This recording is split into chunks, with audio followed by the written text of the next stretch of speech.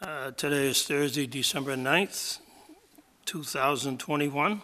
We're at 1111 Somerset Avenue, Old Town Hall. Uh, This is a remote participation Zoom meeting, a hybrid meeting, also live being recorded for cable broadcast and internet posting on www.dighton-mass.gov and YouTube. Zoom meeting number 830-2139-2658. Zoom meeting passcode 137908. Zoom dial-in number 929-205-6099. Uh, We began our evening this eve, uh, meeting this evening at 5 o'clock with a workshop, which wasn't televised. Uh, No business was acted upon. It was discussion regarding some regulations and, uh, excuse me? Proposed regulation. Proposed regulations, yes. We made no decisions or take no votes, so, but we will stand, if you don't mind, pledge allegiance to the flag.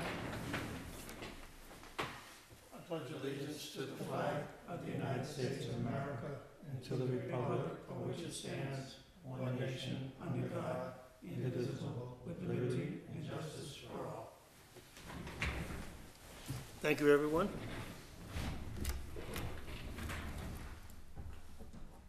First order of business is to review, discuss, and act Board of Health member job description and posting.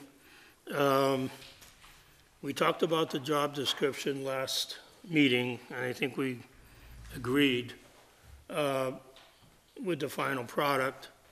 Uh, We had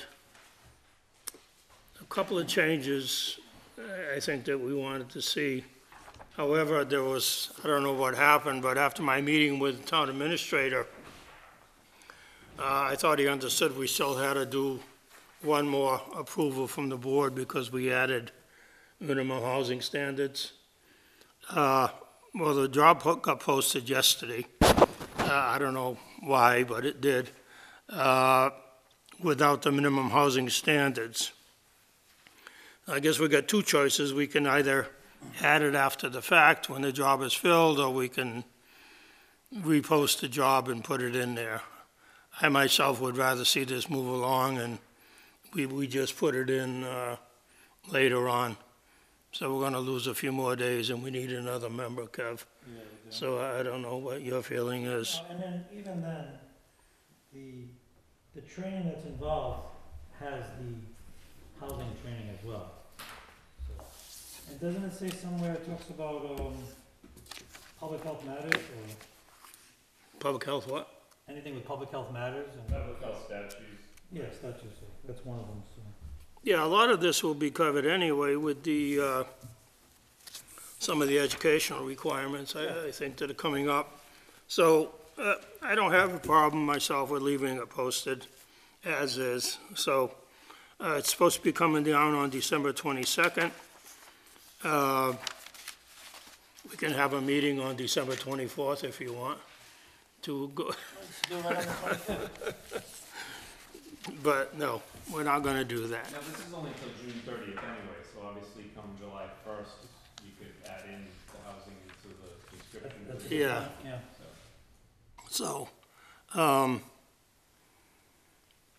so what's your pleasure? You wanna leave it as is? Yeah, Yeah, all right, we can, we can do that. I don't think we need a motion for that, because we've already I approved think the, we've gone above and beyond because I've never seen enough, uh, a job description for a, a member of the board.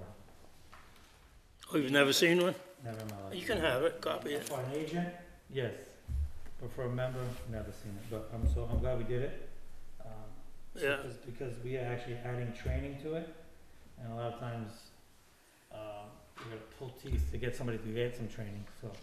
You know where that, most of that came from? I mean, we added some stuff in, but the organizational committee that we had that you and I were on, From the, original- yeah, from a the. lot of that came out of that, and I pieced stuff together from, uh, various resources, so, um, that's good. Okay, moving on to number four B, uh, introduction of our town nurse, Nicole Mello. Uh, to date, I, I find her to be very, very capable of doing the work of the town nurse, uh, especially after last night's meeting with the Board of Selectmen. Uh, She's been starting on contact tracing. I don't know how you're doing with that, but we're going to find out here in a minute. You're going to let us know what's going on, uh, how you doing? And um, would you, I know you were introduced at the uh, Board of Selectmen meeting, but if you don't mind doing it again at our meeting, that would be great. No, I, I wasn't, I. I know you don't do public speaking, but, uh, Oh, you know, I don't either. Nobody likes doing it, but, uh, so how are things going? Let's just ask you a few questions. all right. Things are moving along all right? Yes, yes, it's Okay. going very well. Okay. A Lot of work starting to catch up with you? Yeah, but I mean, it was to be expected. I started at a time where the CD, CTC was ending and the holiday was coming, so Yeah, okay. it wasn't s- No, you surprising. never anything, just reach out. You know that. I'm sure Todd and Roz have told you, so it's, uh, They are beyond helpful. very happy to have you on board. And we haven't formally met, I wanna, I wanna welcome you, Thank you, and, Kevin. uh, anyone that takes a position like this at this time uh, during COVID, I, I commend you. I watched you in action yesterday, uh, compelling stuff, and you handled yourself very well. Um, you look very professional, so very good. Thank you. I appreciate it. Yeah, I'd say echo the same thing. She's doing a great job so far. I know it's only been a couple weeks, but she's done everything that she's needed to do to keep things moving along, so. Good. Yeah, We'll keep, we'll keep you. Thank you, since I'm here. Who, who's gonna do the, uh, COVID-19 contract tracing, number four C? What are we Are looking you for taking here? that, or is Todd taking that, or both of Oh, you? Well, I'm, I've been doing the contact tracing. Um, are you looking for numbers, like, what kind of information? Yeah, just kinda like a brief, without giving obviously information. Yeah, well, I had, like, two days ago, I had numbers of, like, who, like, how many I had contacted, how many I hadn't contacted, but that's all out the window, because I've received so many since then that, So for an idea, is it, has it trending up? oh, Uh, yeah, yeah. and- And about ten a day, I think I'm getting, and that's just, um, that I'm accessing in Maven, that's not the schools, um, contacting me. Um, Yeah. and I did not think about, like, um, the other schools, um, BP, um, who else just reached out to me? Bishop Feehan. I was like, I need to write down how many more there, there possibly could be coming out of their woodworks. I I was glad to hear that you guys actually contacted the, uh, the other health department and have a meeting every, Every week. every week, so that's really good. So, we do this every week, we've been doing it for a long time now, and it's worked great for the nurses. This year, we expanded it to include the Rehoboth Board of Health and Rehoboth nurses, which was very helpful, especially for the high school. Obviously, we looked we all into it. But then when we started doing the test and stay program, they started bringing the company that's doing that, that program in to sit in on the meetings, because they needed to know, because they were doing some things that we didn't like.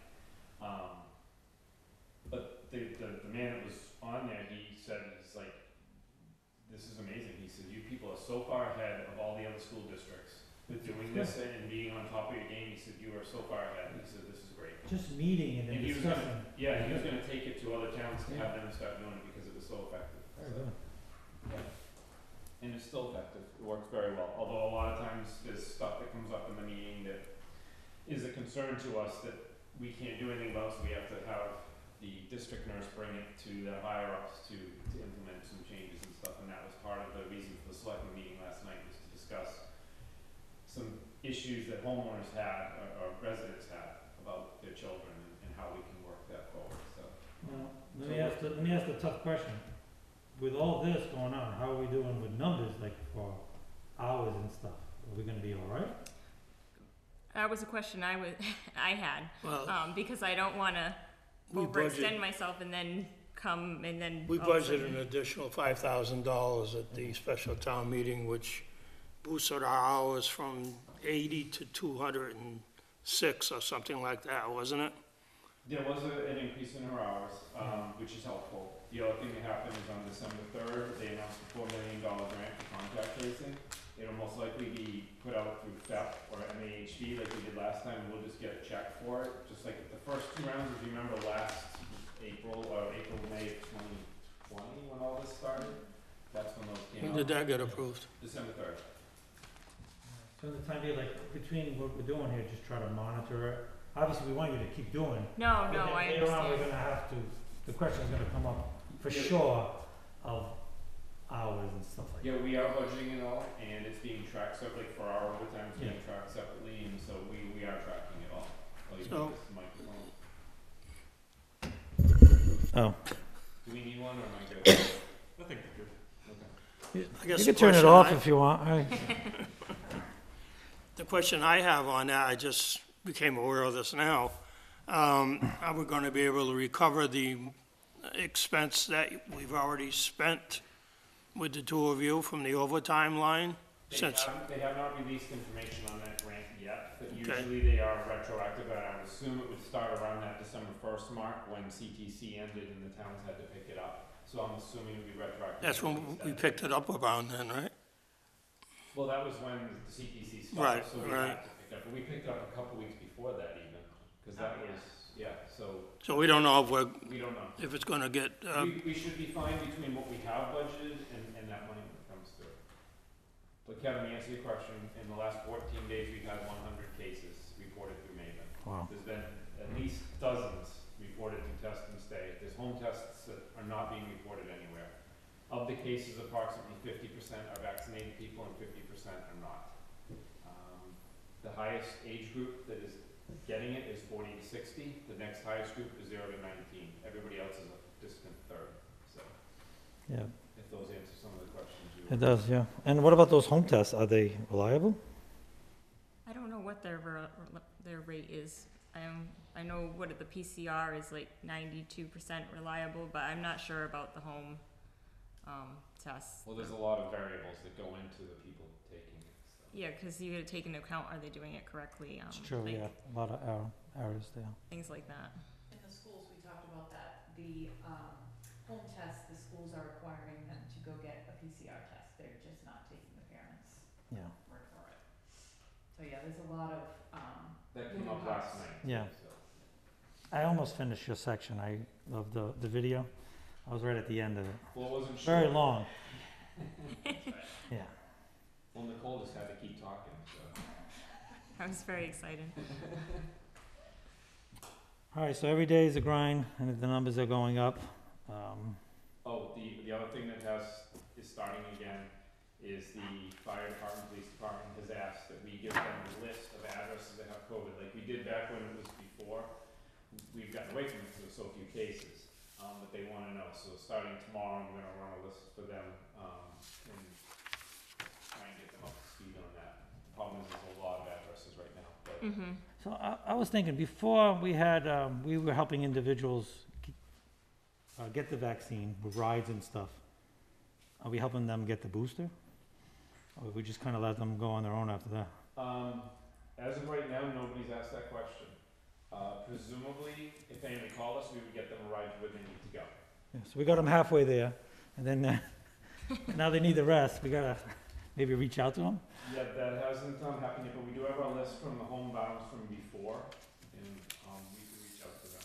Yeah. We can have our nurse do it. Don't overwhelm her, we wanna keep her, yeah? No, but it wasn't that long of a list, it was only, you know, whatever, we'll, we'll give them a call, we'll figure it out. And do what you can, just try not to get overwhelmed, it's a tough time. Just do what you can, and, uh, I'm sure you're gonna do great.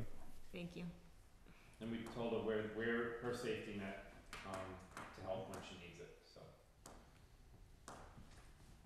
same thing, Lori, when she needed us, she just called. Sometimes she just needed to call to, uh, get a good laugh in, because we just, you need to let the stress out somehow, because otherwise it comes out. just come in, you'll get a laugh. Um, While we're talking about COVID and, and the stress of all of this, this was given to me last week by Todd. And, and it's something I kind of been saying for the last couple of months on supporting staff well-being during the COVID, uh, pandemic. And the average person I think, uh, is under a lot of stress uh, from having to do this contact tracing. Uh, Number of hours, the, uh, the discussion with the people who are ill or family members that are ill. But anyway, this was on the DPH side, DPH, Department of Public Health for Mr. Higgins, that um, was on a webinar, one of the webinars, correct? So supporting staff well-being. So everybody's aware of this. You and your staff are also human beings living through a pandemic, just like your cases and contacts. Be aware of signs of emotional distress, acknowledge and discuss in staff meetings, inform staff of mental health coverage and resources available, create an environment that promotes well-being, opportunities for staff to take breaks, opportunities for staff to connect with colleagues, and be aware of vicar- vicarious trauma, trauma symptoms that can result from repeated exposure to others' difficult situation. Staff members are bearing witness to stories of grief, grief, loss, unemployment, financial and housing insecurity resulting from the pandemic. Thank you guys for what you did. Thank you for what you're doing. Uh, It's not easy. I'm aware of it. And uh, this is why we try to discuss, and anytime you need to discuss something, uh, come on in and, you know. As a matter of fact, we, we've been trying to have staff meetings on Monday morning, uh, sometime about 10 or 11. If you want to come in and we can discuss what's going on, uh, you know, you don't have to if you want to. I, I would like to see you there. Yeah, They, they last that. about half hour, if that, 15 minutes, just to get us up to date of what's going on and how everybody's doing. Yes, in general terms, it's not, we're talking about this case or this, this, Mm-hmm. this project, it's just in general, like terms, of what, how busy are we, where do we need help, that kind of thing. Okay. Thank you. And even if you do it on, you call in, we could do, it. we could do it that way too. Okay. I don't know if you have do-over, we could do that too, even if you want to, then we can call, Okay. Okay. much easier to Zoom. I just wanted to read that out for whoever's watching. Uh, It's not as easy as it looks it is, uh, to try to get all this accomplished uh, with the people who are in the midst of the pandemic or who have been infected, so it's, it's pretty difficult. Anyway, moving on. Kevin, did you want to say something? Anything? Uh, No. just like, same thing, uh, thank you. Well, if I just, may, I don't know if we have, if Nicole wants to stay for anything else, I don't know if there's anything else here that is, uh, of, um, concern of hers. Yeah, you If don't, you want to bug out, you can. bug Yeah, I out. have calls to make. Yeah. Yeah. I figured as much. Unless there's something else you wanted to bring up to the board's attention?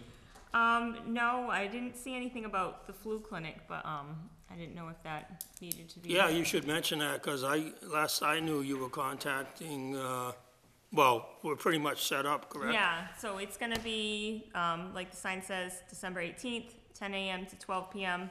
Um, I know that the Board of Health said that they would help, um, schedule people. Um, we have the little flyer that has the QR code that can be used. Um, I I had seen something else where there was a link, um, just go in there, there's all these slots where you can plug somebody in that calls, um, go through the questions and plug them in there, or they can do it themselves, you have a phone, you just take a picture of that, that, um, thing and it will pop up. Um, they ask that you bring an insurance card, um, and if you don't make an appointment and you go by and you were like, oh, hey, um, today's the flu clinic, you can just pop on in, it's not required to have a, Any appointment. activity yet that you know of? Uh, sorry, what? Any activity, is any, How many people signed up? Oh, no, I, I only looked the other day and it was just, um, nobody. okay. Um, Yeah, I, I think a lot of people have already had their shots, but, you know, it's an Yeah. attempt for people who, it's good for people who can't travel long distances or even short, dis- I mean, it's here, it's convenient, so. A lot of providers got the, um, vaccine a little late this year, so I'm hoping maybe some people Okay. weren't able to get it because of, they were got it late, so maybe We they'll. could probably notify all the staff too, that we're, having- I'll just remind them. Yeah, they, they didn't send anything out to the town hall, we can have, um, Just in case nobody got it, yeah. Yeah, they should. Then this way they could tell their family members and whoever, so. That's in this building, correct? Yes, Yes, we'll be in okay. here. I don't wanna be the only one that gets my food Uh, shot we'll by probably myself. come and help you out here, Yeah. so. Selectman Hull will be here. Okay. He doesn't do anything on Saturdays. Okay, Well, All right, thank you. thank you. Nice thank you. thanks. to meet you again. Have a good night. Okay, four D, uh, someday we're gonna complete this, but it's probably not gonna be tonight because I was hoping that, uh, Commissioner Agia could be here. Cause I had asked him to be part of it since he is an agent of the Board of Health. Do you wanna table it for a few minutes? Yeah, we can just table it, and if he comes in before the end of the meeting, we can, we can discuss it. Um, Moving on to Uh, Do you need a motion to table? now, moving on to four E then. Resident handbook of what to expect when installing, repairing, or upgrading a septic system.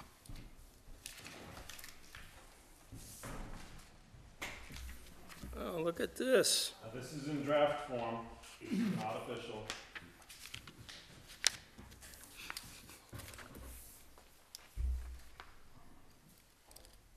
So this is something that, uh, I put together, um, it's meant to be a colloquial way of letting a regular homeowner know what's kind of involved in the process from start to finish. Um, it may be too long, too short, missing steps. Again, it was what we put together and we felt it was pretty comprehensive, but it may be, like I say, it's colloquial, so it's, it's Yeah. not meant for an engineer, it's not meant for an installer, it's meant for a homeowner who doesn't know anything about the process. And how would you, just wondering, I know we're still gonna go through it, and how would you get it, like, how would you get it to them? Um, well, some people call us, we would also have it on our website. Um, we would probably have engineers provide it to the people when they call, and engineers may end up starting to use this for projects outside of Dighton, but Yeah, um, and have them disseminate it to the, the homeowners. I don't know of any other way to really get it. Yeah, yeah, out. yeah. When there's a Title V inspection, we could then, if it, you know, failed, we could reach out to them that way or whatever, but we generally don't get the failures, so. I get quite a few calls from homeowners asking, like, septic system failed, what do I do? What's the next step? How do I, so I verbally tell them over the phone, but it would be great, I can just email that. cause I was thinking, as soon as, like, when, when you have a Title V inspection, it's a fail, you send out a letter, correct? Oh, so normally I would send out a letter just saying, your Title V was, um, is, is your Title V inspection indicated it was failed, you have, and then you give the time frame. They Uh, usually Please call us- contact the office, but then you could also say, please see this, because it says, number two says, hire an engineer. They don't know that they, um, if somebody was already working on their plan, they wouldn't have to go to number two. But on a Title V failure, they would know, oh, I need to hire an engineer. Sometimes they're calling us before we get the Yeah, failure. yeah. Like, Yeah, a we lot of haven't- times we don't get, we don't even have the report in and they're asking what. But this we is do. excellent, because, yeah, you can refer them to those questions. How, how did you work the, by, did you generate this from questions that are normally asked Well, of you? Um, I, I've been doing this as an engineer for a really long time, and what happened is the same, every homeowner was asking the same questions over and over again. So we put together what was effectively a que- a- a FAQ for these homeowners, and it worked great because people, instead of, hey, be- before I spend an hour talking to you, I'm gonna mail you something, read it, and then after you read it, call and we'll talk, because this explains a lot of it. Yeah, yeah. It really set aside a lot of the time on the phone because they were able to read it. When we came here and we talked about doing this as part of the whole, um, making the board more transparent and all that, um, I took that and modified it into a document that was meant, it included a lot more than what I used to have in there too, because there's a lot more of this stuff now too than there used to be, so, um, but it's, modified off of that, but yes, it's the same questions all the time by homeowners. And generally engineers field the questions, um, because they are the point person usually for a homeowner as they go through the process, but, Yeah, you wouldn't think, I mean, I didn't give it any thought. because I'm probably aware of it. And they may have to take down your fence, or they may dig up your yard. Uh, people aren't aware of this, they just think you get in there, dig a hole, and Yeah, that's the end of the story. They don't realize the disruption it's gonna cost and the, you know, how it's going so to. just the tracks alone of the, the Yeah, background. yeah. They're like, oh, my yard's a mess, well, well, how'd you think we're gonna get here? Yeah, I'm gonna, we'll look over this, and I think there may be some things, I saw some towns have, uh, similar, what to expect when doing this, but this is great. Um, I think we'll take this one under advisement, maybe. Yeah, and then And, I like um, to review the whole thing. I'm thinking after the first of the year, Roz, we need a, like a two-hour workshop Yeah, on a, Just workshop without a meeting after. yeah, on a separate night to like we get did by today, all when we banged out one, we jumped to the other one. Yeah, because, uh, you know, this has gotta get done sooner than later, and, uh, I agree. The only way we're gonna do it is, is have a off-night workshop. Our January meeting is the thirteenth, so at that meeting, you could schedule, once we get past the first of the year, and you know what your schedule is gonna be like, cause I know it's hard to say now. And then that would still give us two full weeks and a couple of days in January to try and do a workshop, Yeah, unless you wanna try and schedule it tonight. but, it- yeah, what, I was gonna it's say, it's a Thursday, right? Well, our normal meeting is the second Thursday in Yep, January. so- Well, the problem is people coming in behind us and we're getting shoved out sooner than they wanna leave. Uh, And we have to rush through some items I'd like to discuss more and more. Um, So if we, Thursday nights work the best, honestly, for me, I don't know about for you. Yeah, Wednesday nights are tough. Um, Since I seem to keep, keep going to the selectmen meetings. why Um, don't, why don't you check and see who's coming in on Thursdays behind us? Just the Concom meets on Well, Thursday. the third Thursday is the Concom. Yeah. Yeah. So we could do the first. Well, the second should have been open, tonight should have been open, this other meeting we didn't know about. Yeah. Seven, so. Yeah, but even if we did the, um, twentieth, which would be conservation, if we did five to seven, there's your two hours. Yeah, that would be good. Okay, so back-to-back weeks, the thirteenth, And then the twentieth for the workshop, if there's no one here yet. Hey, Hi, sorry I'm late. That's okay. so thirteenth and the twentieth? twentieth will be tentative, I'll check to make sure there's nothing else, Okay. and we'll do five to seven.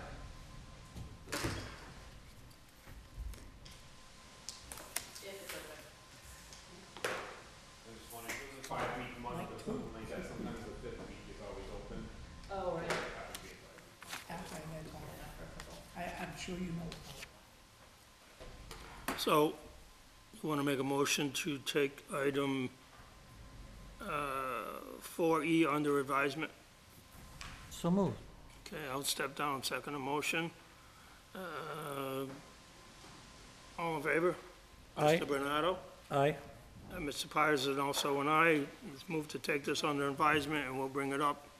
Uh, I think this is a workshop item probably, uh, Oh, for, for our next meeting, Yeah. when we have the workshop, okay? A lot of reading to do, No, this was on that. Oh, for that, yeah. I mean, Oh, Next item is propane tanks. Uh, there's been a discussion, uh, with Mr. Ferry that, um, we probably shouldn't be touching propane tanks. Um, and we should only be taking them household hazardous waste tanks. So he would like us to stop taking them regularly and add them to the list of unacceptable waste on the, um, the list. Because when they come in, they, there's gas in them. And we're not equipped for getting, taking the gas out and all that, so we, we would like to stop taking the propane tanks, except for household hazardous waste tanks. Well, I'm thinking, what if we just notified the people that the gas must be out and the head, Yeah, the head taken off? Well, if they do that, then they can just throw it in the metal bin. But everybody's bringing them with it attached and with some gas still in the tank. Well, I don't wanna totally shut them out, I mean, but, Well, they would just be keeping them till our yearly household hazardous waste day. well, that makes sense now, they can get rid of them for free. I know. Cause the thing is, if we ask homeowners and they have to start knocking those tops off, we could have other dangerous problems, cause they're not This is necessarily true. qualified for take, taking them off. Yeah, so. yeah. I have received an inquiry from a gentleman who asked about coming to the transfer station and getting them, like he would come get rid of them for us, but Tom Ferry said, no, that's metal, like we wanna keep those. But now if he's saying, no, we don't want them, maybe we should reach out to that gentleman and see if he's I done. know, but that means we have to get into a contract with some guy. it's. Oh. And now it's a surplus product if we're having somebody take it that. That would have to go to bid. Yeah. It, it oh. turns into a whole, We're just a random person that's, it, pick- it, I- there's a reason why we would wanna stop taking them at this point in time, but at some point we may end up. When- doing it. when did We this need, is- like, a hazardous shed or whatever in order to be taking the stuff. Yeah. we've What been was doing your- this for years, how did this all of a sudden become, What was your experience with propane tanks? they always, I assume they always came in empty. Really, now that I think, thought about it, I never thought they would come in and you'd, uh, be open and, what's the, Yeah, only the person runs it out until it's dead, dead, right? Yeah, I don't know. I, I agree with Todd, though. I'm not sure. Not that I think homeowners aren't capable, but I would prefer not having homeowners taking propane tanks apart. Yes, at yes, home. yes, Yeah. Yeah. yes, please do not touch your propane tank. So when is ha- household hazardous waste? Is it in the spring every year? well, well, we're shooting for the spring. Yeah, but then we- we, we have Have a a certain date, amount, yeah. we have a certain amount budgeted and that's gonna, Yeah, but just an FYI, gentlemen, I reached out to four different companies for dates for the spring, no one has responded. yeah, see, and now we're gonna be, every- Including a company that reached out to us and said, hey, we want we reached out to them and no response. So, We sent it out, how long ago was that? a couple weeks ago. It was right after our last Can- meeting. Can we just tell our attendant until we really come up with a plan? You show up with a tank, if it's not empty, you gotta take it back with you. It's gotta be empty. Have we looked into a process for safely evacuating the propane from propane tanks? Is there a way that we can do that and recycle the propane? I mean, I don't know how much propane is Yeah. coming in, in these tanks, but how many propane tanks a year do we take in? Sixty or eighty. So if each one has a pound of propane in it, that's sixty pounds of propane. I That's a know. lot of propane. Like, uh, uh, Freetown actually used the oil to run their, um, DPW Yeah, I- I on certain don't- things. And I don't know what's entailed, I Yes. certainly, I, I Yeah, don't wanna go. furnace. The furnace. So you're talking about propane recovery from the Talk tank? about propane recovery, and then we can maybe use it to heat, uh, one of the buildings or something like that, I don't know. Um, uh, Actually, not a bad idea. Well, then we know that the propane is being recovered and not being let out into the atmosphere, which is what's gonna happen. Uh, Very good. We want, wanna talk to, somebody wanna talk to Tom? Well, we can call him and see if he wants to join us at the meeting or not. No, let him eat. No, I'm, They won't- I don't think that's a bad idea to see what he thinks. So you wanna invite him to the next meeting? Yeah, or in the meantime, talk to him and then we can always circle back and, yeah, I'll ask him about what's Yeah, entailed okay. with propane recovery. that's something I don't think if the people that are already receiving it can do something, I don't think it needs our vote. If they're gonna use it uh, appropriately like Tom would be doing. We would need equipment and everything else, like that's, and they're gonna need trainings. I mean, but he was wants to stop taking propane tanks now, I think is what the, the issue is. So he's looking for an act of the board. He does, we want the board to vote to say no more propane tanks. Well, We can, we can, we can, Table it, but. Yeah. why don't we temporarily suspend the acceptance of them while we research propane recovery and alternative methods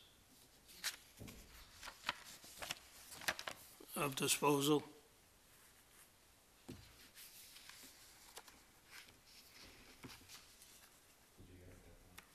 When's our next meeting? Roz, I'm sorry, when's the next meeting? the thirteenth, January. So it's temporarily suspend. Then well, you're gonna reach out to, uh, Or The attendant? research is being done on alternative methods of disposal. Reach out to who? The attendant? Oh, to let him know it's suspended? Yeah, and you notice the second page there is a sign, piece of paper right here, the sign they'll end up posting saying that we're So we'll change it to temporarily suspending, but we can change Yeah, the so wording. if somebody comes in, they already know and posted somewhere. So, How about a motion to suspend it for thirty days until we, uh, find out, um, so moved, thirty, Further thirty information. days, so moved. Okay. Uh, I'll step down, second the motion to suspend. Uh, all in favor? Mr. Bernardo? Aye, Mr. Pires is also an aye.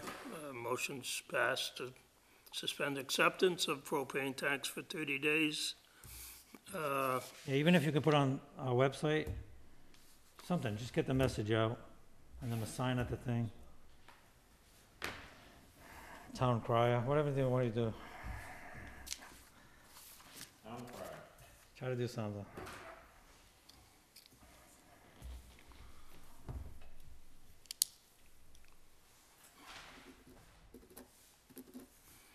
Going to move back up to item 4D now that uh, the building commissioner is here, one of our, one of our agents to the Board of Health. You want to pass these out, Ross?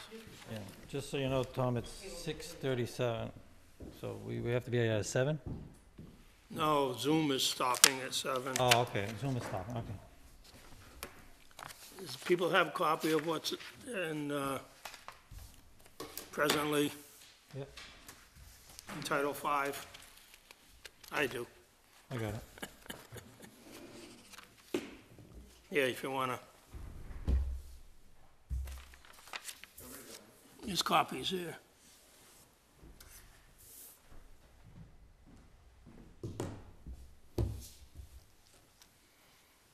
Did you get a copy of the, this, Jim? I do, thank you. Information and process? Okay.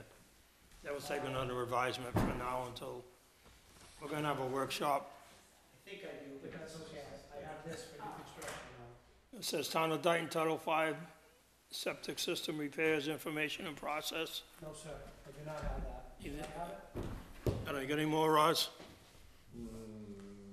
All I had was the one I just gave you, Jim, was highlighted in the. Yeah, that's what I No, got. uh, we only have the, ori- I can print out another one. Okay.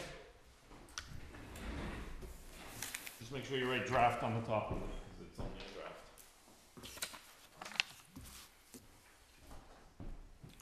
Do I have that one? When you said there's a lot reading,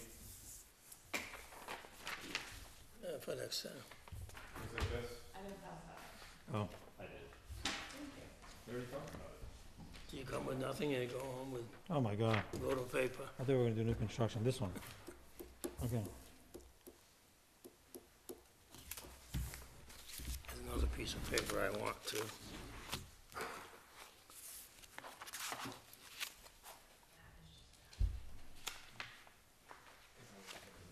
Start making your own adjustments.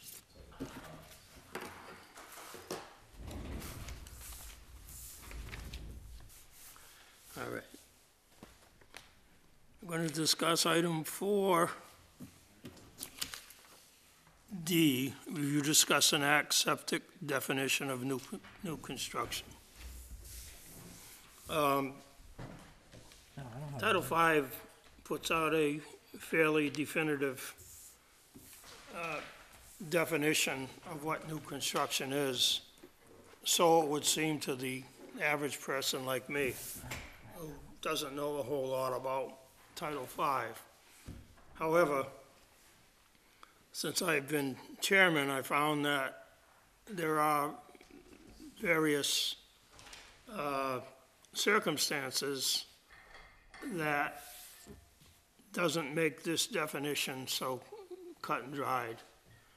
And that's been a problem, uh, well, since I've been here that I've found. And I think it's time that everybody gets on the same page so we can all, even the engineers and installers, so we can all have a general idea and be on the same page moving forward. Um, I know there's certain areas of Title V that do impact the basic definition. Uh, such as increase in design flow or approved capacity. Now, and I'm gonna use a recent example of, if we don't know, because there's no, uh, no as-built plan, or no certificate of compliance that was ever issued, we don't know what the design flow was at the time. Um, I, I would seem to think, if we don't know that, and somebody's replacing a house, where they had demolished it or whatever happened to it, uh, is that a repair, or is that gonna be considered new construction with a new system? That's one area that I'm thinking about. Uh, If there's a house that was there, and the foundation is gone, this, are we gonna call that new construction or repair? Uh, We've had a, I've seen places where probably the system was put in, uh, on a farm recently that I can recall. The person that owned the property found,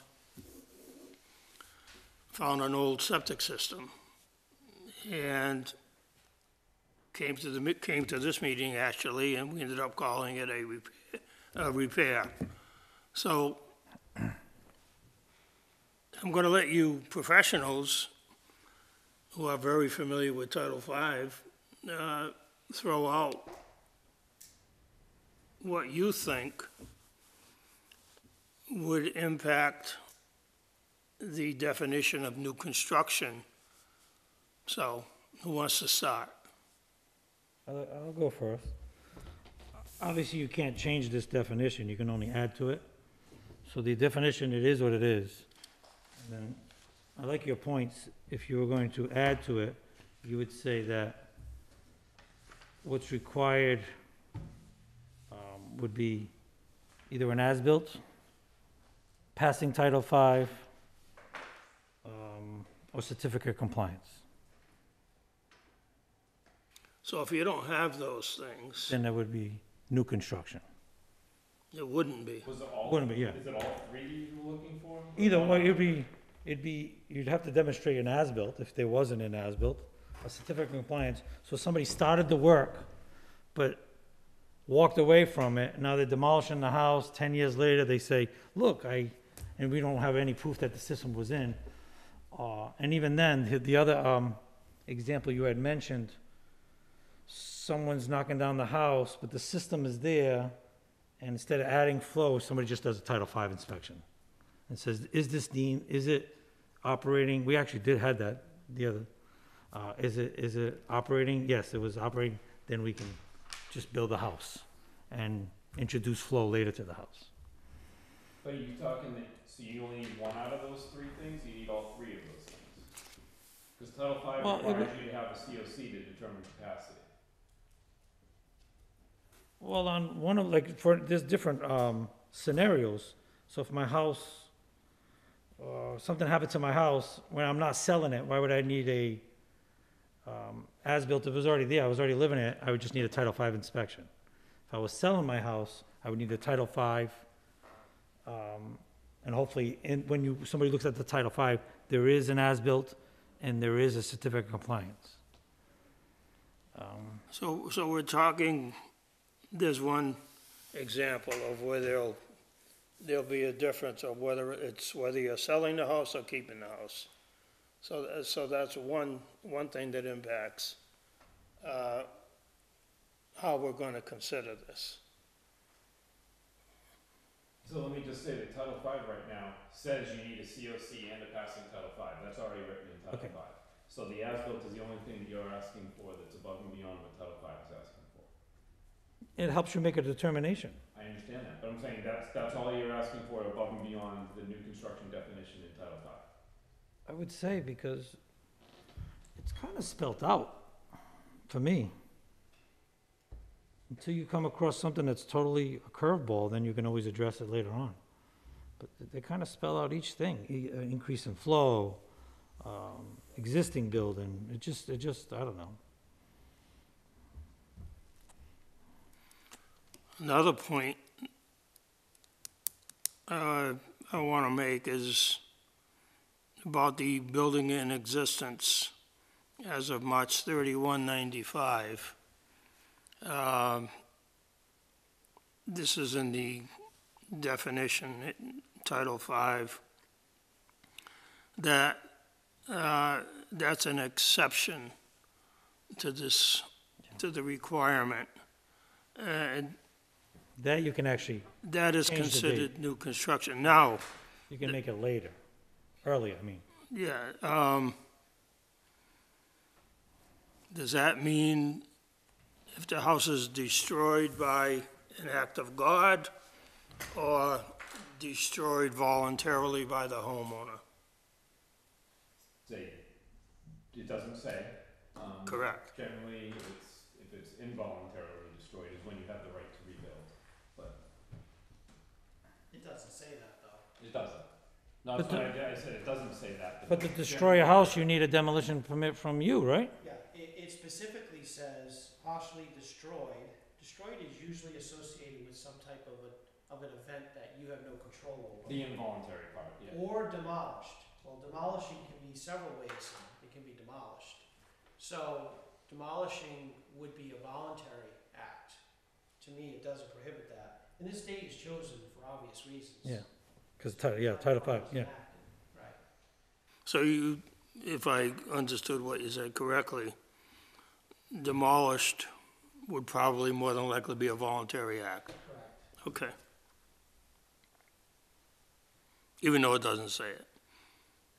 Well, we, if, if we have a house that's destroyed by fire or, um, natural causes, I've never stood on it and said, gee, that storm demolished this structure, didn't it? No, it destroyed it, Yeah. okay? And then if I wanna demolish something, I come to see you. However, if, repair, you know, and I needed to demolish it, you know, for my obligation, or if the property owner or insurance company demolished it, or if it's gone beyond its serviceable lifespan, which does happen to buildings, and nobody maintained it, then it will be demolished voluntarily. Okay. But either way, in order for it to be not new construction, you need to have a certificate of compliance and a passing Title V inspection. So if you wanna take your perfectly good house, tear it down and build another one right there, as long as you've got a COC, which again, in today's world is an as-built too, and a passing Title Five, you're good to rebuild. Where does it say that? Right there. Where? Says that above the existing approved capacity, and the next page, definition of approved capacity, is shown on the disposal works app or the certificate of compliance, whichever is less. So if you don't have a COC, that's a design of zero gallons per day.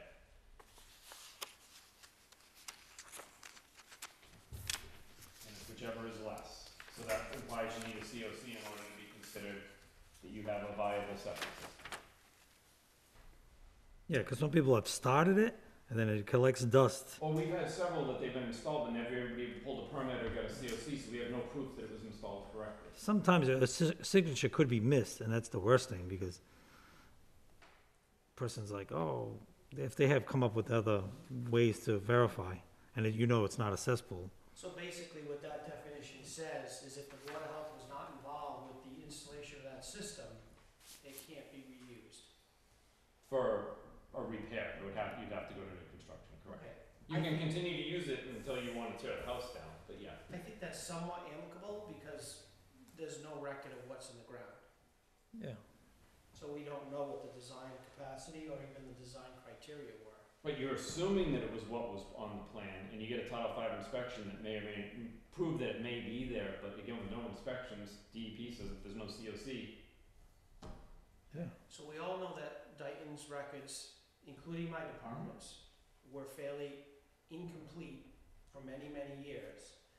How often do you find properties that have one missing items, but a permit was pulled? Well, how many permits do we do a year here? Fifty-ish? Mm-hmm. So out of the two hundred, we've had two. No, historically, I'm saying. Y- Oh, no, but I'm saying that, I, I don't, I couldn't tell you how many were just the, the permit without a thing. I mean, a lot of them are cesspools too, from the old days, but cesspools we automatically have as an automatic hmm. failure, so. Cause I would hate to penalize a homeowner if they try to do the right thing and we don't have the proper records. but if we don't have an as-built or a COC, or anybody even pulled a permit to put the system in, we don't know that, Yeah, Yeah, because at least, at least there's a permit but no signature. right, The Title V inspector can verify right. That, oh yeah, wait, you're saying this is here, but it's not here, this is a cesspool here. Forget it. but the problem is we can't be less restrictive than Title Five. we can No, only be more, I, I, so. I, yeah. And this is why I've held to, if I don't have an as-built on file or a COC, it's new construction. Regardless what we do, you're gonna run into these. I know, there's always a barrier, no matter what definition we come up with today. There's always gonna be that one that's gonna, sc- you're gonna scratch your head on.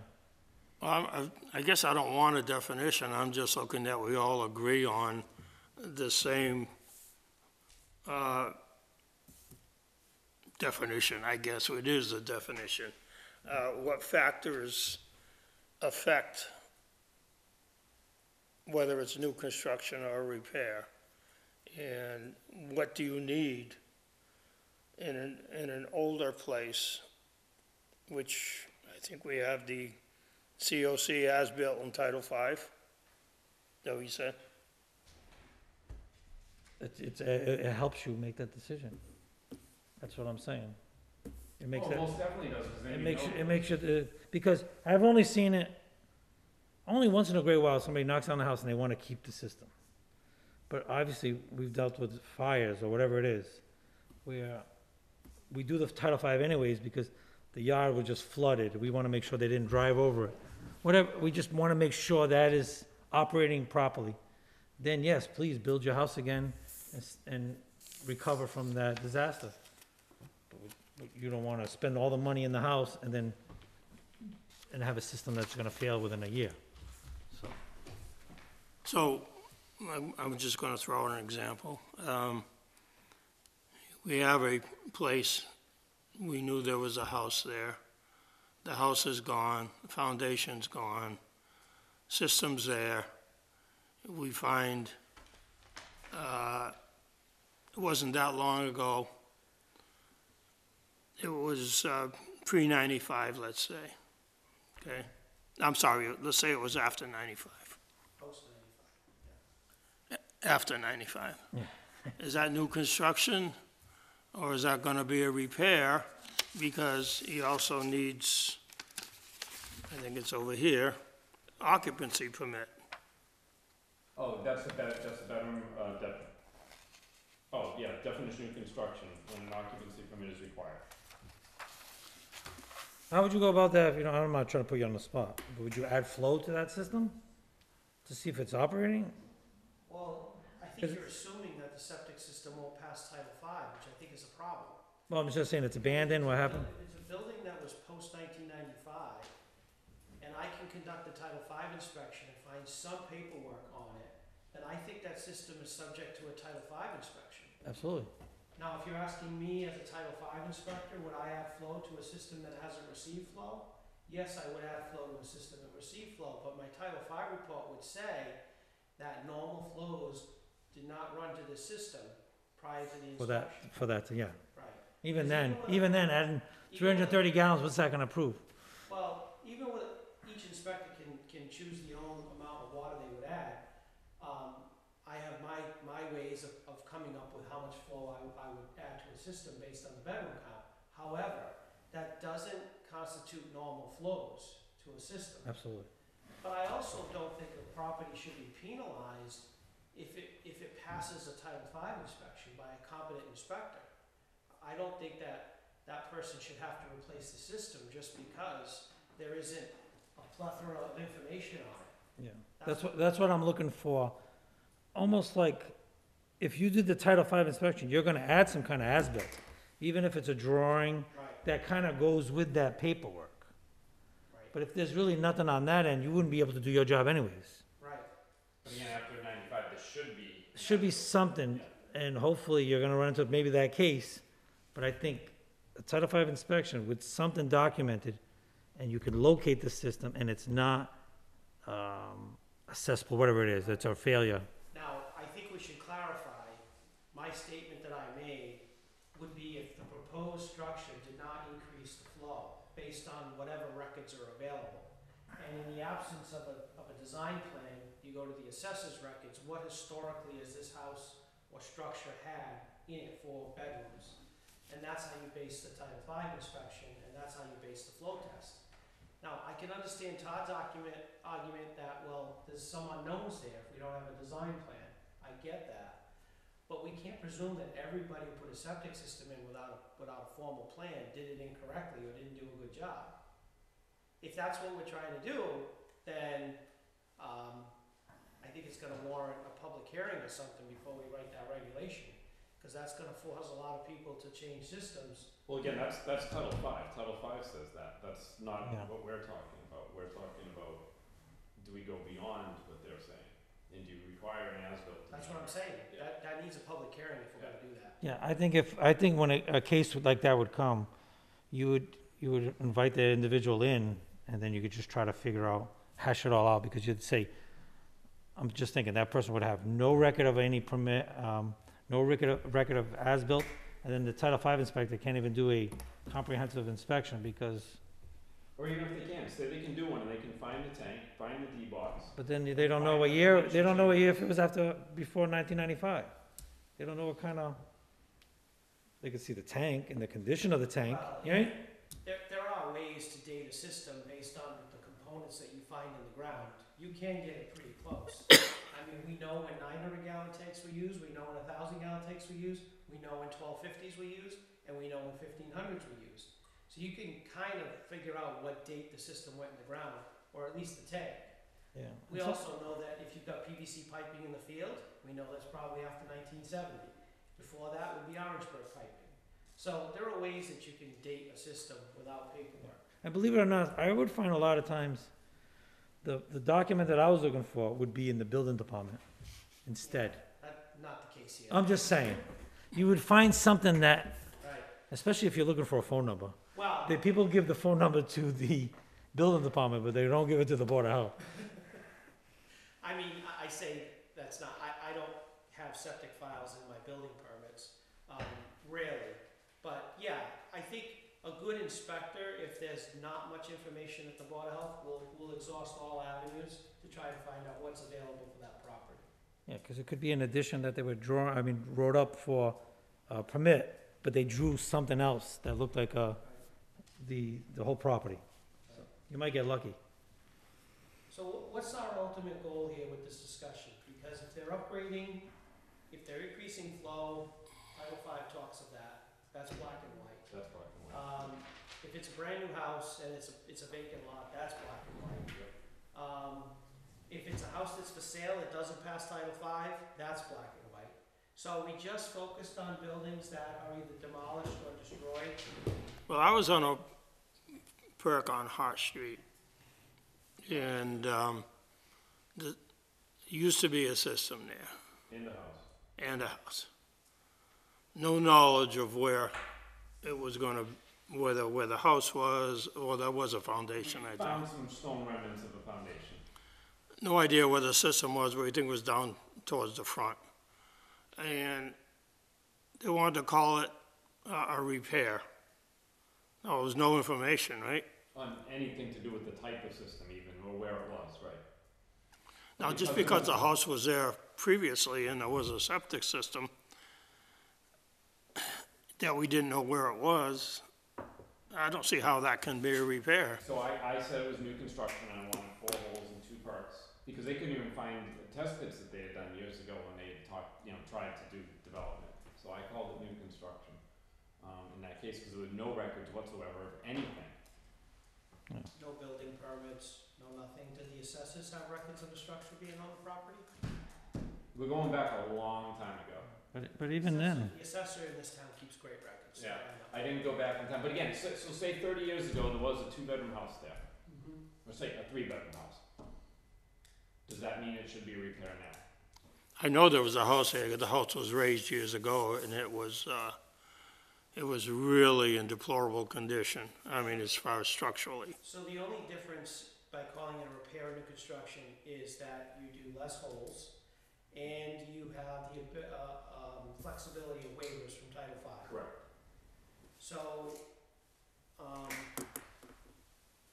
guess my question would be, what would, if someone was to prove that there was a structure on the property, what's the harm with calling it a repair? You could actually go out with them and do the inspection with them. Like when he's out, when you say, when you get your Title V inspector, I'll go out there and verify with you.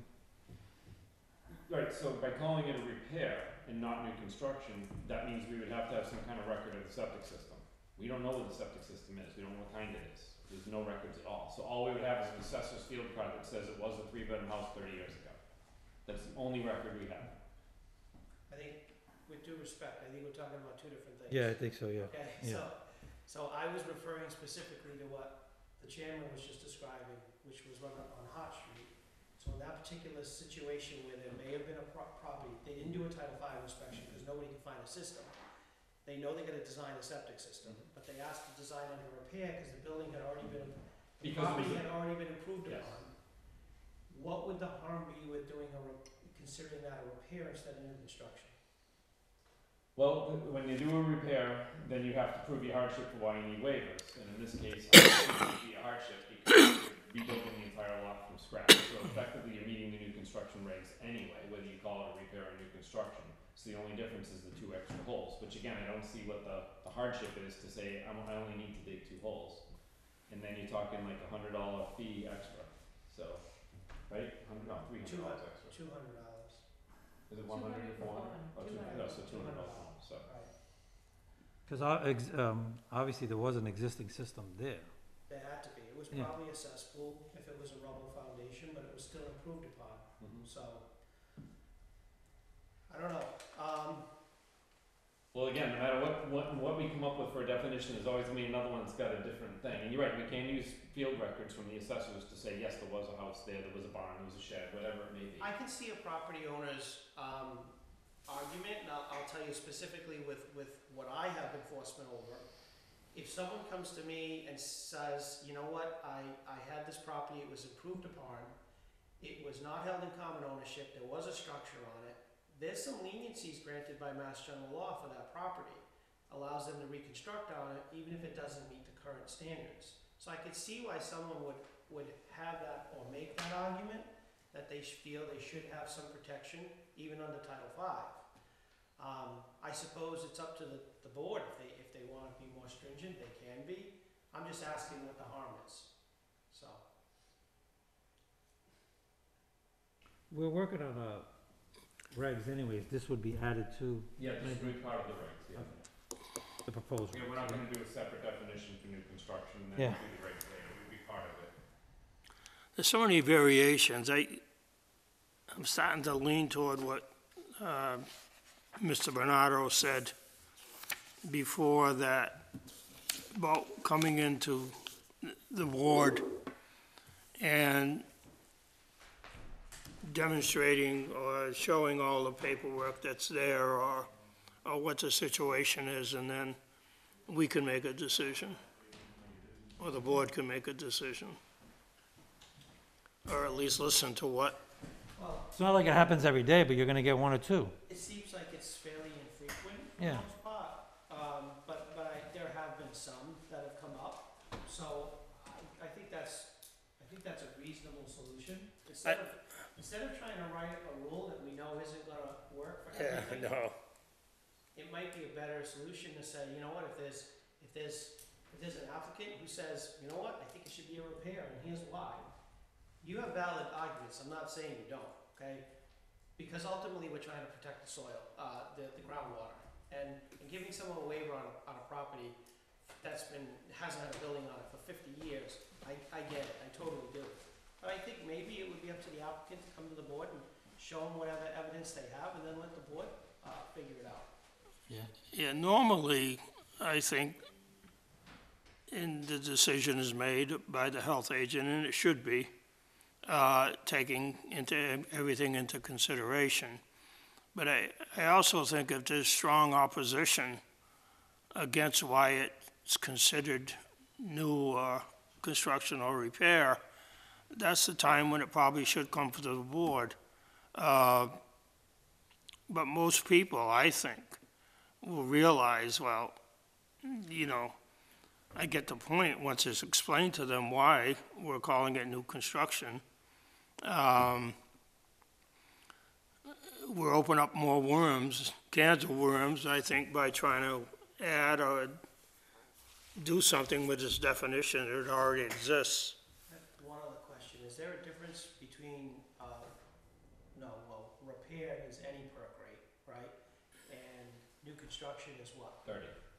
So that would be the only thing that would be, um, an applicant's, to an applicant's benefit, if a property had bad soils, and they could convince, if they convince the board, then fine, the board is convinced.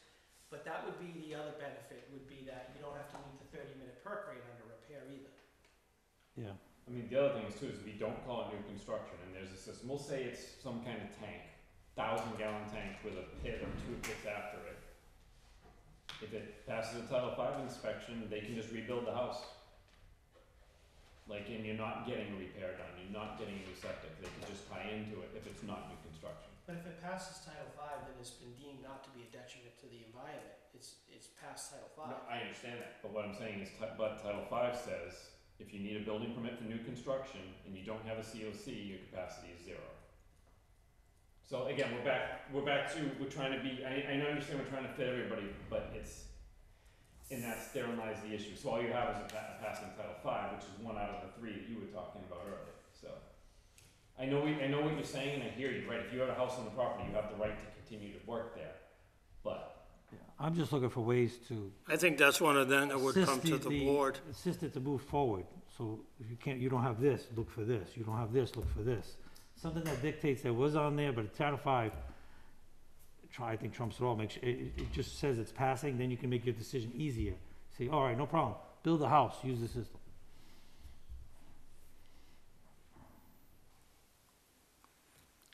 I don't think the decision should be left in a, in a situation that's questionable. Probably should come from the, to the board.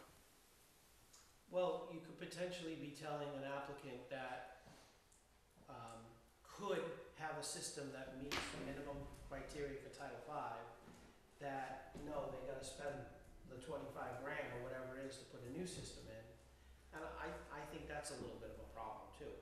So, um, would there be a better system in the ground post new installation? Maybe, but the one that's there may be fine too. Yeah. We came across one in, uh, Lakeville. Just right there on the, the, the years, I don't even know how many years, or how old it was, Right. can't remember. But in the end, uh, they had to do some minor repairs and, Mi- Minor repairs, the system was working fine. It yeah, wasn't- brand new house, beautiful house. Yeah. Right, So give a house to tearing down and building a new one? Yeah, Wow. yeah. same flow, same, uh. Yeah. And um, that's the way I lean towards. it. I, I just, that'll help me make the decision. If sometimes you have to call, like, I called the Title V inspector out there to verify the conditions, because the, the other one was in question. So I just had, I just, it helped me make a decision. The home, the homeowner paid for the new Title V inspector, but I was comfortable with that decision. And I've, I've done that on, for several boards of health. That's, it's not gonna be me if, Yeah. that, if that happens, but I can tell you that I have worked for many towns in that nature where the town wanted, um, a Fresh pair of eyes. report, right, Yeah. And, and I came out and evaluated exactly what was on the site, and in the end, they felt more comfortable with moving forward with, uh, so I don't, I don't know if that's something that you could think about. Yeah, we determined groundwater, that, that one was, we determined groundwater. I was a witness. Right, I had an inspector, um, third-party inspector, and you, you, there's different ways to get compliance, and there's different ways to make the decisions. but you already licensed inspectors, which tells me that you have a process in place to make sure you know who your inspectors are working in this town. You know, there are not a lot of communities that do that. They, so, so I understand why you do that, because there are some inspectors who shouldn't have licenses, I agree. I was gonna say that. Right, but it's a state license, so, so you've already put that mechanism in place to control your inspectors who are here, or at least vet your inspectors who are here, which is good. Um, because because it does give you some confidence when your inspectors submit reports. Um, If that's not enough for a particular case and it goes to the board, that may be an option that comes out of the board. Yeah.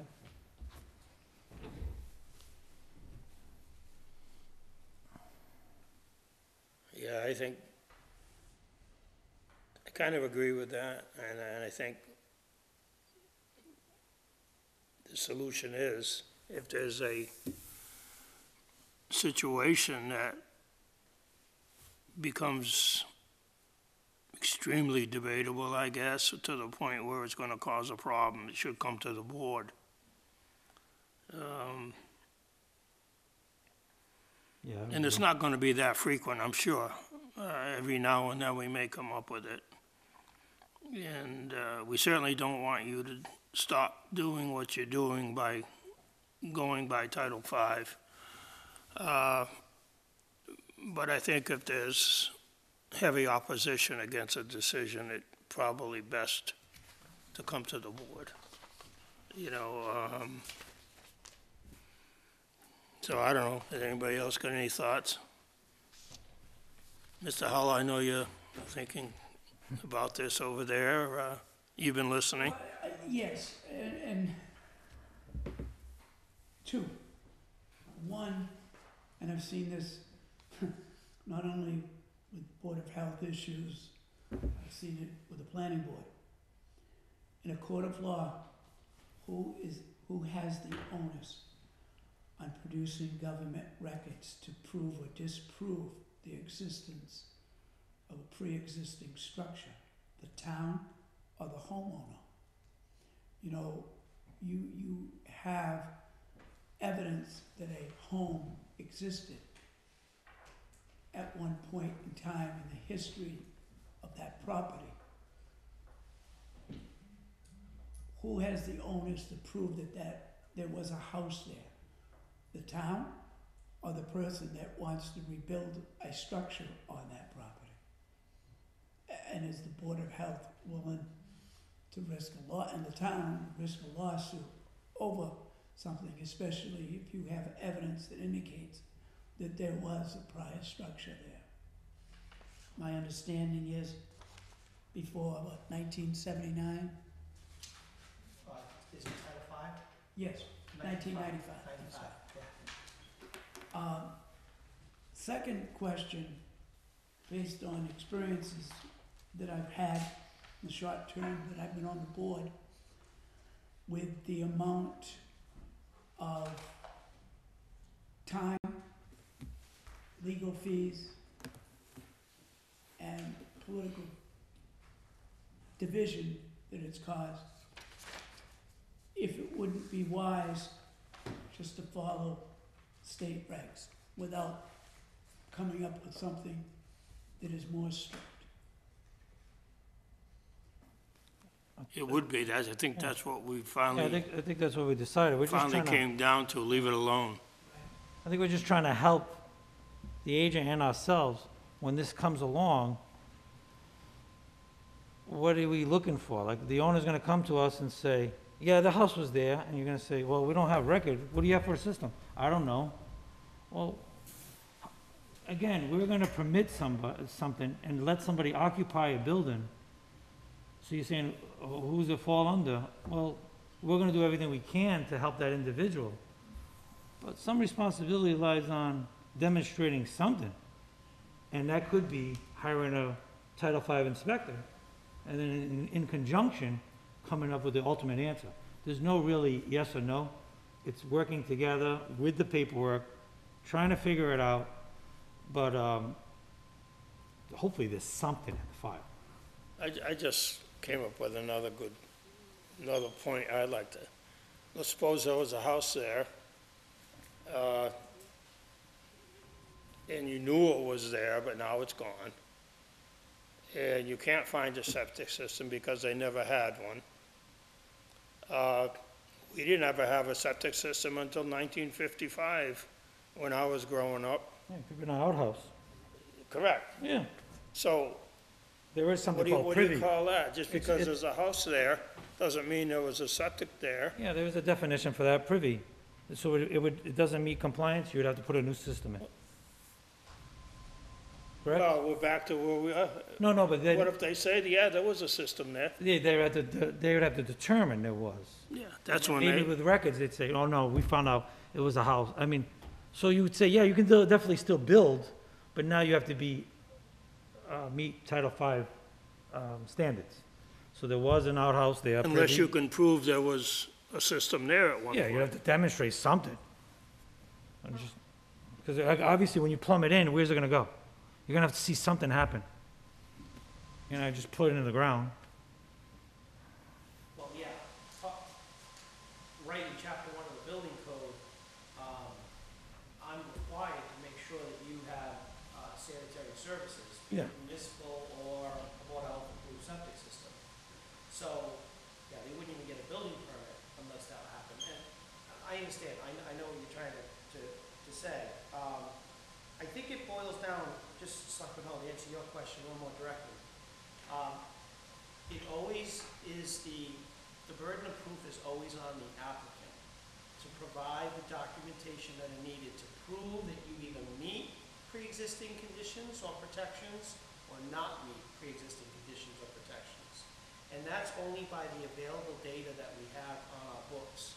But that could be assessors records, building files, Board of Health But files. it's on the property owner. All right, it's always on the applicants, it's their responsibility, okay? Now, if an applicant comes to you with all of this information that they say they found, and the, and the town official says, you know what, that's great, I don't wanna, I'm not, I'm not taking it. Well, then you bet, the town better have some good information that says otherwise. Otherwise, we have to accept that. Yeah. Thank you. You are. Okay, we're gonna leave it alone. I'm sorry? Yeah. We're Gonna leave it alone, right? Is that what we it come down to Well, now? What will happen is, um, I think if there's any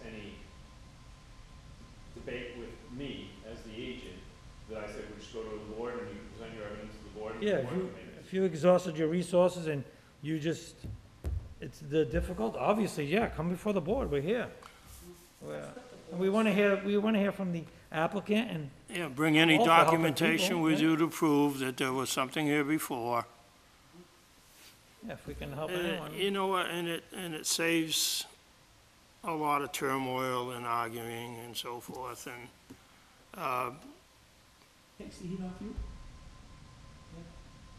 yeah, you don't need it, he don't need it, I don't need it. So, you know, and then the heat's on us.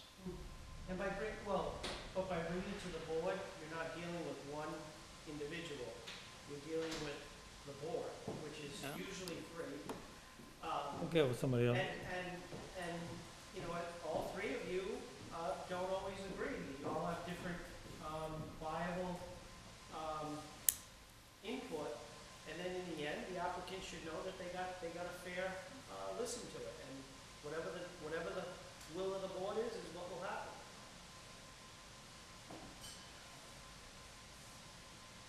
I think with the infrequency that it happens, I, I agree with Selectman Hall, I don't, I don't think we need to reinvent the wheel. Yeah, Path of least resistance.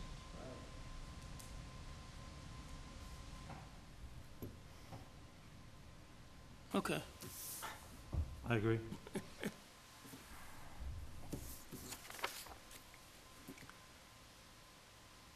Okay, we're gonna move on to inspectors' reports. Uh, Health pretty much- agent, Pretty much covered everything, uh, with the COVID. Um, I had a little backlog of plans and stuff that slowed down a little bit in our office the last couple of weeks on the amount of calls coming in. Um, so I'm kinda getting caught up on that, but, um, I don't think I have anything right now to report. Things getting a little better now that we have the nurse and you're doing thirty-five hours. Yeah, I'm up, I'm full-time, um, so that seven hours is starting to make a difference, but it's gonna be a little while, but yeah, the nurse, um, she's, she's doing all the contact tracing now, so tomorrow or morning, we're gonna be closing out follow-up calls from the ones that we have been followed, she's only been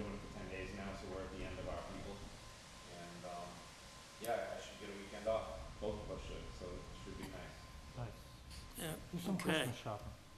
I think I might. So. I doubt I'll have the whole weekend off. I'm assuming there'll be some calls in there, but yeah. You always get a call on weekends for something.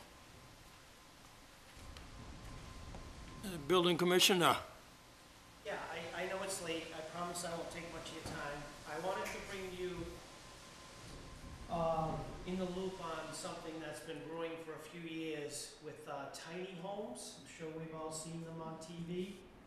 So, a couple of years ago, the ICC, which is the International Code Commission, approved what's called Appendix Q, which gives leniency to tiny homes and exempts them from certain building code requirements such as rise and run on stairs, headroom, emergency escape window openings, et cetera, et cetera.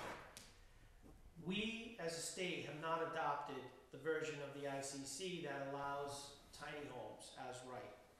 We're still in a pre-existing, uh, I'm sorry, an older version of the code which doesn't allow it. I anticipate the state will eventually adopt it, and Appendix Q will be in full force, and these structures will probably come out, because, let's face it, they're pretty economical, uh, they're easy to build, et cetera, et cetera. So the thing that I see coming up on the horizon is these things are usually one bedroom, very small, some like to be off the grid. I'm gonna need this board to come up with something before the code gets adopted as to how we're gonna deal with sanitary sewer. Because I can guarantee they're gonna either come in and wanna do composting toilets, or, um, maybe ask for, I don't even know if it's allowed, waivers from Title V for the three bedrooms. Um, because a three-bedroom system just is, is, it would be absorbent for a tiny home.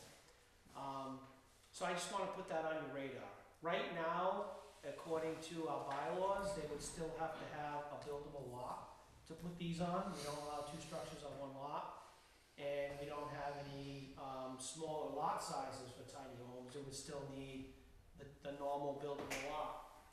But I can anticipate that if the state adopts this code and, um, they become, um, mainstream, then there might be pressure on planning boards to, um, reduce the lot sizes and pressure on boards of health to try to figure out a way to make it a little bit easier for these things to come in.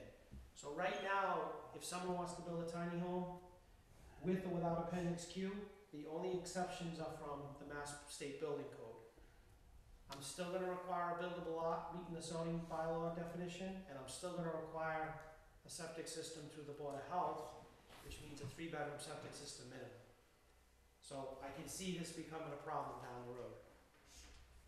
Mr. Chairman, oh, uh, so, so Title V does allow you to do less than a three bedroom as long as you put a deed restriction on the property. Yeah, It I've would seen still it. be a fifteen hundred gallon tank, but the leaching field would just be a third the Even for size. new construction? Yeah. Okay. Yeah. And then. And you can actually put it, now you can actually put a tight tank if you want, to, right? Yeah, no. I- I've, I've, You yeah. have to prove that you can't put a septic on the lot. The composting It's true, toilets yeah, are yeah, allowed. Yeah, So composting toilets are allowed already, it's so. true, yeah, you have to, sh- yeah. So they, they, Just nobody wants them generally for a three bedroom or four bedroom colonial or whatever, they would prefer a conventional septic. presently, they could do a conserva, well, they don't, the state doesn't allow, but they could do a conservation subdivision with tiny houses on seventy-five hundred square feet. If a developer wanted to come in, yeah, that's, that would be up to a developer, but there hasn't been a lot of interest in Dighton, I've only received a couple calls through the years. Um, but, you know, I, I think once the state adopts the, the appendix Q, which gives them some relief, cause right now it's hard to make a title, uh, a tiny home building code compliant, it's nearly impossible. Because if you put the rise and run for a stairwell to get to the loft, you lose half the building. So that's why Appendix Q was adopted, to give them leniencies to do like the ship-type ladders and steep inclines. And then, of course, in the loft is usually the sleeping area, there's no bedroom window up there for the emergency escape opening, so that's why Appendix Q was adopted. I don't even know if this state will adopt it without, um, amendments. You know, they, they may, they may try to amend it. So we'll see, you know, we'll see what, what comes down the pike. But, um, the deed restriction is, is interesting, it makes sense. But now I have a, uh, an almost one acre lot with hundred seventy-five feet of frontage with a tiny home that's deed restricted for one bedroom. So, you know, we need to make sure that the public's aware of what that means, because if they wanna knock the tiny home down and put a big house up, it's not gonna happen. Well, they would always, they would have to revise, uh, You'd have to put a new, New system. new construction. Yeah. Yeah. I wonder if they'd be considered affordable units because of the size. Yeah, I don't know. So you're already putting in a two-bedroom system, might as well put in a three-bedroom system. Right. Yeah, and that'll be up to the And then you could always, uh, I just wanna let you know it's coming. I'm, I have, I'm getting some calls, but it, it- it's not like the. I would say after living one year in a house like that, then I'd say, let's build again. I couldn't do it. That's for me personally. They're, they're, they're small. Yeah. Yeah, not for a long period of time. Anything else? No, sir. Thank you. Thank you. Animal inspector isn't here, we're going into public input. I have three items, Three items, all okay. positive. Okay, good.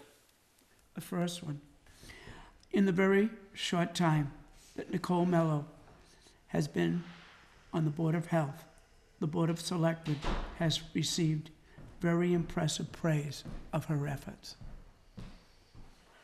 Uh, the second item, because of the recent upsurge of COVID cases in Dighton, Town Administrator Mike Mullen today sent a letter of appeal to Representative Pat Haddad and Senator Marc Pacheco, requesting a return of CARES Act funds to the town of Dighton.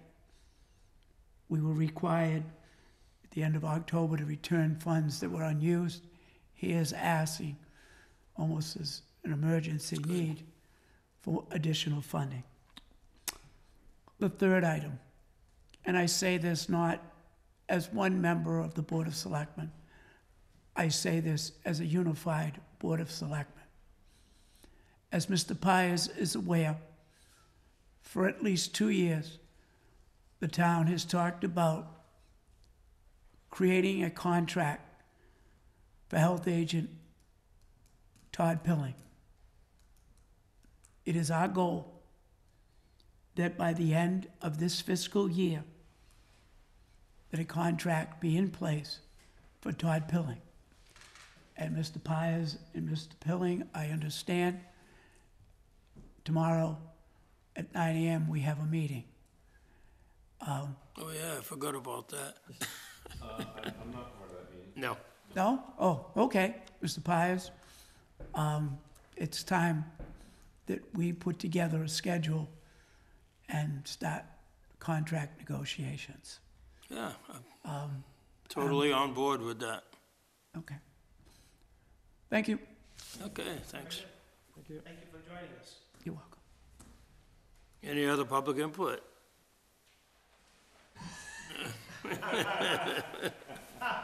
Correspondence, I guess we have a thank you, if you, to Borges Brothers Trucking.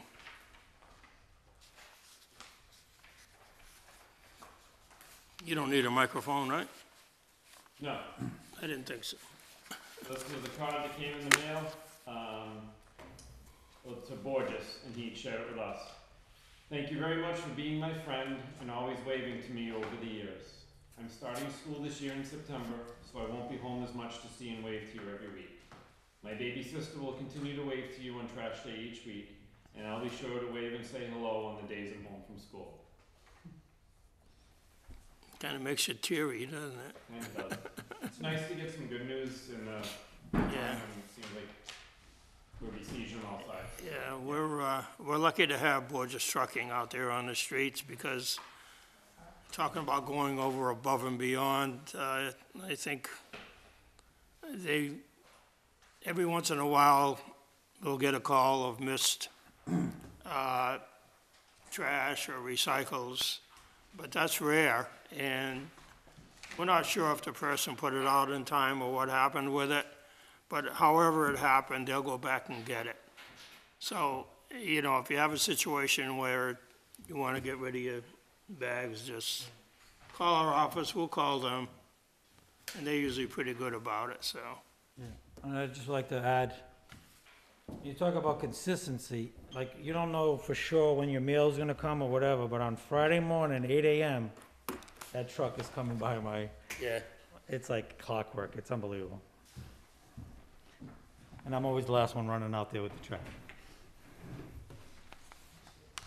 Okay, we do have another piece of correspondence that, uh, is from our Sustainable Materials Recovery Program. It was a grant award that we've been receiving for the last few years for our recycling initiatives that we have. Uh, I'll just, this came from the Department of Environmental, Environmental Protection. It went to the Chair of the Board of Selectmen. Uh, I'm gonna read the first paragraph. Uh, The rest of it is uh, just pretty much the history of it. But congratulations, it is my pleasure to inform you that Massachusetts Department of Environmental Protection, also known as Mass DEP, has awarded the Town of Dighton Recycling Dividends Program funds under the Sustainable Materials Recovery Program. The Town of Dighton has earned eight points and will, and will receive four thousand eight hundred dollars. Um, it's through the effort of everybody that we're, uh, moving along with the recycling. There's still a lot, long way to go.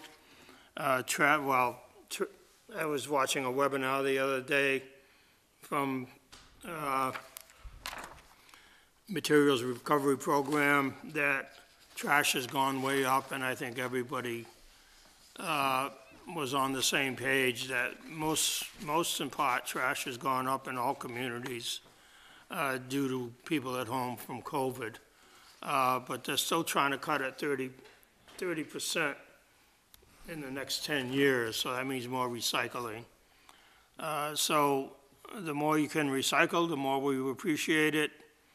Uh, actually, trash is cheaper to get rid of than recycling at this point. It's crazy. Uh, so don't put it in the trash, but, because then trash will probably go up. But anyway, Yeah, no, uh, you know, it's something we try to get every year. We, we're in there for the points.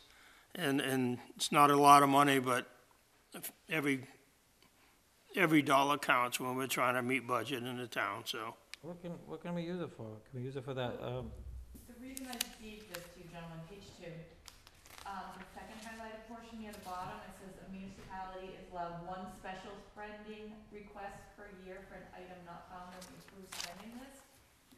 So I just wanted to give this to you to think about a different way, or we can ask to see if we can spend this differently than we've previously, we've gotten roll-offs, we've prepared roll-offs, we've got some other, maybe we could put this funds towards starting the swap shed? I know. Or Or buying a propane recovery system. I, I, pre- I'd like to do the recycling audit myself. Okay, well, there's uh, different ideas. so I thought about recycling audit, which is part of the, uh, we, we're the gonna tool, go, tool, IT toolbox there, or whatever it is. And uh, at least you can give us a handle on where the problems are.